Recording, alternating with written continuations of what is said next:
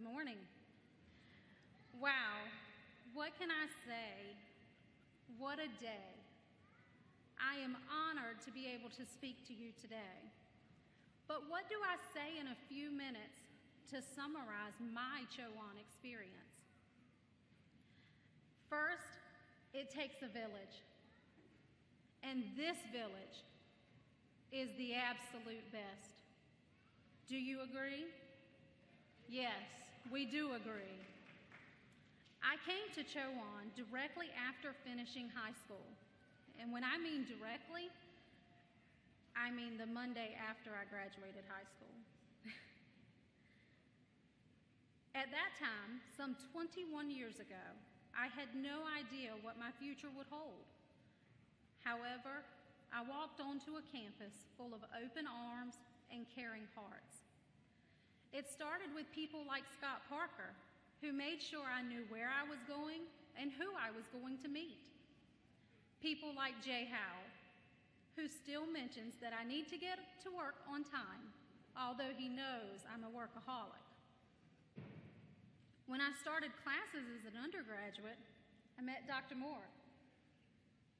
It's still hard to believe that he knew me the first day of freshman seminar. I spent four years knowing that I loved being here. I wrapped up my undergraduate career in 2006 and I began working full time in the financial aid office here at Chowan. I had a psychology degree. Yeah, who knew that would work? I knew I would love working with students every day.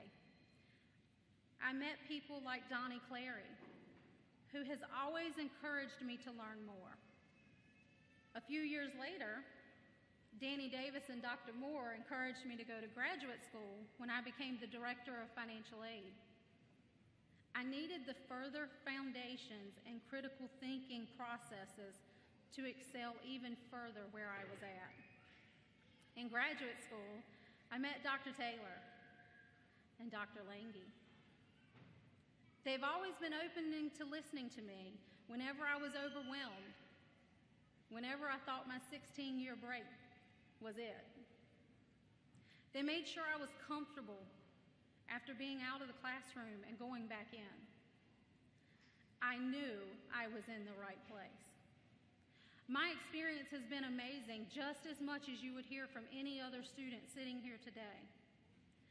The people at Chowan made a difference in my education, not once, but now twice. However, I have to admit, the people in my home made the sacrifice.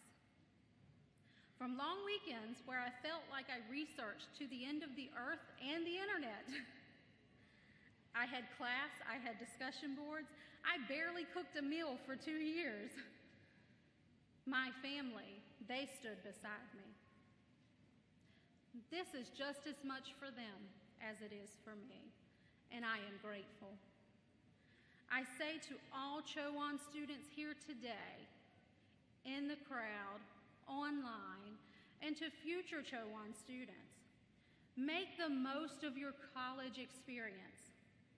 And that village, it'll still be right here. Thank you.